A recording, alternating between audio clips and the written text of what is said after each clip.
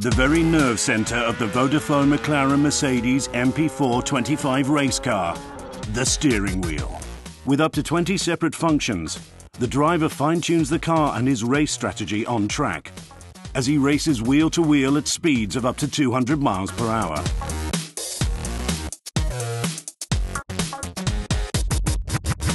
To get that extra edge, you have to be working all the time on improving the car through a race, balancing it with the adjustments you have on the steering wheel.